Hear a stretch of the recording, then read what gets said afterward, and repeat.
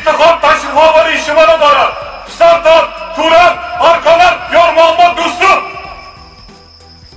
غیرت دا, دا تقاضا کوي چې خارجیانو ته وایي چې ما ته ټوپک راکړه چې زه خپل م- بل افغان ورور ووژنم او بیا زه ځان قدرت سلام و درود بینندگان گرامی به یک برنامه آجل خبری دیگر از چینل دری میدیا خوش آمدید.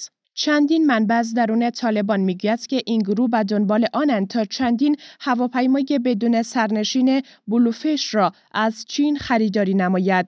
این مطلب از سوی وبسایت تحلیلی 1945 نیز نشر شده و در آن آمده است که به نظر می رسد طالبان به جای هزینه کردن روی آموزش یا توسعه افغانستان از پول نقد محدودشان برای خرید هواپیماهای بدون سرنشین بلوفش از چین استفاده می کنند.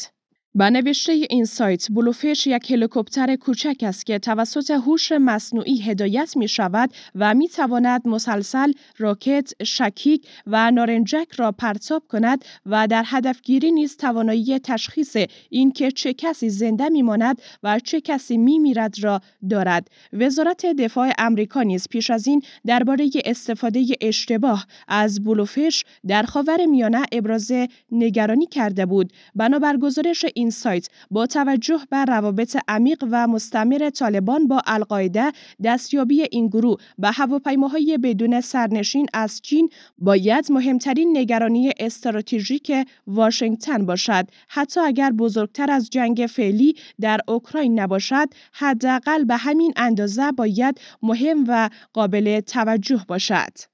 همزمان با این و به دنبال انتشار گزارش ها مبنی بر ایجاد یک کمپ نظامی از سوی مارشال دوستم و یار محمد دوستم عباس استانگزی به این اقدام وی واکنش نشان داده و گفته است که به قواره شما نمیآید که به افغانستان بیایید و دوباره به خاطر قدرت بجنگید و افزوده است که ملت از شما بیزار است و چطور غیرت شما اجازه می دهد که از خارجی ها کمک بخواهید تا به شما صلاح بدهد که شما برادر افغان خود را بکشید و قدرت را بگیرید. غیرت دا, تقاضا کوي چې خارجیانو ته چې ما ته ټوپک راکړه چې زه خپل بل افغان ووژنم دباندې او بیا قدرت همزمان با این اسناد محرمانه استخباراتی امریکا که به تازگی از حالت طبقه بندی بیرون شده است نشان می دهد که طالبان و رهبران این گروه در دهه 90 میلادی سود هنگفتی از کشت و تجارت مواد مخدر می‌برند و حتی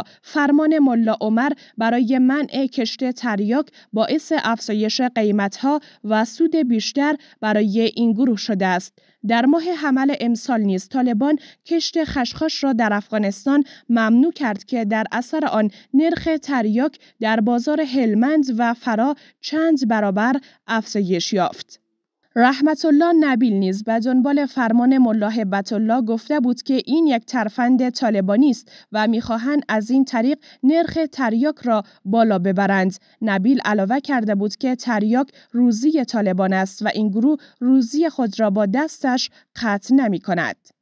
از سوی هم بر اساس تایید دولت بریتانیا 200 مهاجر خردسال بدون همراه که کودکان افغان نیز در میان آنها می باشد ناپدید شدند. دولت بریتانیا روز سهشنبه 24 جنوری اعلام کرده است که این کودکان مفقود شدند و بدون اینکه کوچکترین اثری از خود به جای بگذارند محل اقامت خود را ترک کردند. رابرت جنریک وزیر مشاور در امور مهاجرت گفته است که 440 مورد ناپدید شدن کودکان گزارش شده است که در این میان 200 کودک همچنان مفقودند. او توضیح داده است که این افراد زیر سن قانونی در هتل محل اقامتشان بازداشت نبوده و آزاد بودند که این محل را ترک کردند. طبق اعلام دولت بریتانیا 13 تن آنها زیر 16 سال سن دارند و فقط یکی از آنها دختر است. 88 درصد از این ناپدید شدگان آلبانیایی و بقیه از افغانستان، مصر، هند، ویتنام، پاکستان و ترکیه هستند.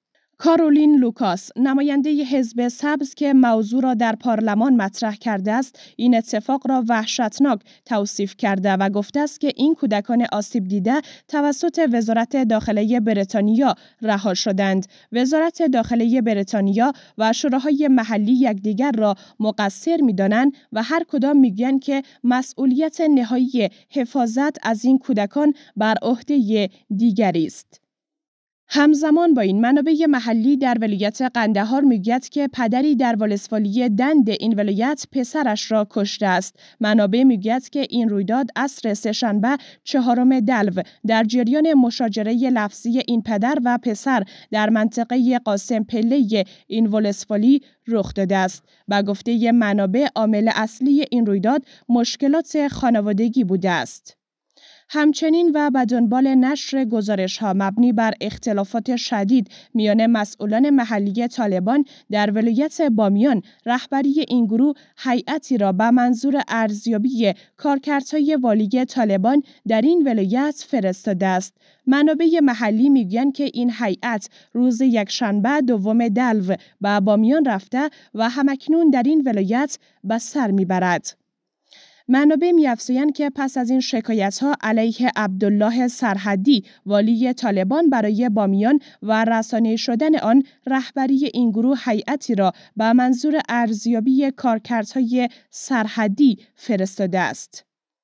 یک منبع که می‌خواهد از اون نامی برده نشود می‌گوید که هیئت طالبان بررسی هایش را درباره ملا سرحدی از اداره های زیر کنترل این گروه و صحبت با شماری از باشندگان بامیان آغاز کرده است. به گفته منبع مخالفان ملا سرحدی تلاش دارند تا با برجسته کردن کمکاری ها و ضعف های او نزد هیئت زمینه برکناریش را از سمت ولایت بامیان فراهم کنند.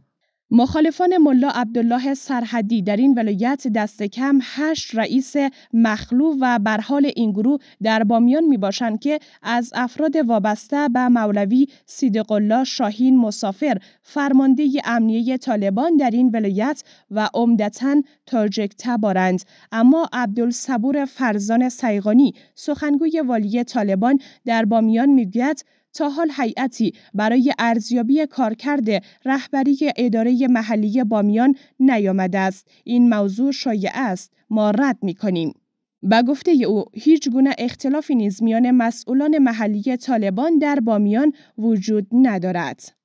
همچنین و با گذشت بیش از سه ماه از توقف کار ریاست پاسپورت در افغانستان و با وجود اینکه گروه طالبان رسما اعلام کرده که پاسپورت جدید صادر نمی شود شهروندان کشور می‌گوید که این سند 120 دلاری در بازار سیاه به قیمت دو تا چهار هزار دلار فروخته می شود و بخشی از این پول هم به جیب مقامات طالبان می رود. برخی از متقاضیان پاسپورت می گویند هرچند روند توزیع پاسپورت به ظاهر از سوی طالبان متوقف شده اما کاران در ازای دریافت چند هزار دلار می توانند پاسپورت رسمی تهیه کنند. شمار زیادی از شهروندان افغانستان که می‌خواهند برای درمان و کشورهای دیگر بروند میگن که بر سر دوراهی خرید پاسپورت با قیمت گذاف و صرف نظر کردن از سفر گیر کردند. و گزارش اخیر هم این که باشگاه النصر عربستان پس از جذب کریستیانو رونالدو ستاره پرتغالی دست به کار شده تا ستارگان دیگری را نیز به خدمت بگیرد. نشریه الیوم عربستان روز گذشته اعلام کرده و گفته است که پس از جذب رونالدو با پیشنهاد وسوسه انگیز این بار با لوکا مودریچ دارنده توپ طلای 2018 به توافق دست یافته است. و گفته این رسانه تمامی توافق ها میان دو طرف انجام شده و به زودی انتقال لوکا بازیکن باشگاه ریال مادرید و باشگاه النصر عربستان به گونه رسمی اعلام می شود. دوستان عزیز این بود مهمترین های افغانستان و جهان که تقدیم حضورتان شد. از شما نیز سپاس گذاریم که تا این دم با ما همراه بودید. تا سلام دیگر بدرود.